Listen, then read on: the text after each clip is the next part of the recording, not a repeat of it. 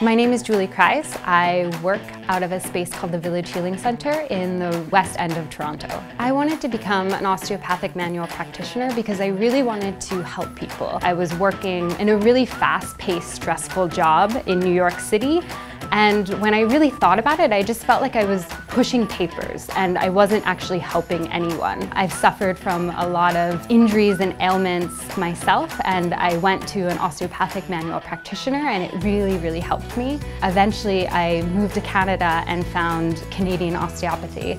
I graduated in October 2017.